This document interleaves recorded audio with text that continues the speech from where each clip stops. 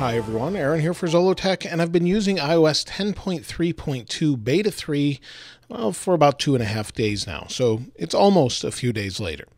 And I've noticed a couple things, and actually not too many bad things. The main thing is is that my phone tends to lock up when I go to search. Now, I forgot to mention this happened a little while ago with one of the betas, but if I pull down to search, sometimes it actually would lock up or it wouldn't do it. So I'd just swipe down, it wouldn't do it. And so I'd have to go over here and use the search bar up there. So for whatever reason, I had to keep going like this and it wasn't working. Now, speed wise, everything has been fine, opening apps and things. And this particular background is from Joseph Elmore. So thanks for sending that to me at Zollotech at, on my Twitter account here. And this uh, I'll leave a link to it in the description below so you can take a look at it. But this particular beta has been nice and fast, and everything's working okay. All of these, all of these apps that I use. This is my Heartfeed uh, app that I use for news, Instagram. Everything's working really well this time around. I haven't had any delays, although that was a slight delay when I hit that and opened the folder. I haven't normally had any delays when I'm opening apps, and it usually works pretty good. But that doesn't mean it's working well for everyone. Some people are saying they're having some issues. Uh, battery life has been pretty good for me.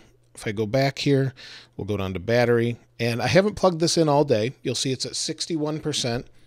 And, well, it says it's been plugged in. I was actually transferring to a Samsung Galaxy S8 just to try it out.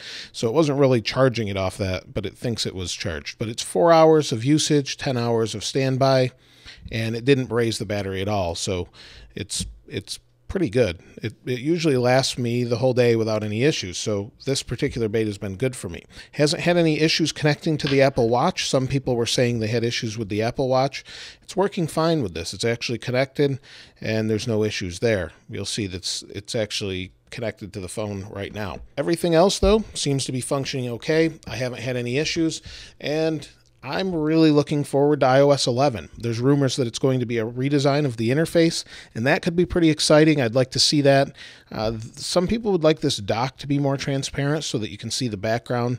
The dock is kind of a staple of macOS and iOS, so I'm not sure that they're going to change that too much, but maybe they'll do something radical and have big widgets. Who knows what Apple's got planned for iOS 11.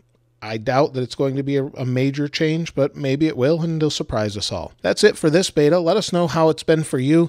Message me on Twitter. I sometimes ask there how it's been and then use those examples in my videos. So if you're having issues, follow me at Zollotech and let me know how it's going for you. Sometimes I'll throw a poll out there and, and we'll see uh, how it's going as well. But if you haven't subscribed already, please subscribe and like. Again, let us know how this is. Thanks for watching. This is Aaron. I'll see you next time.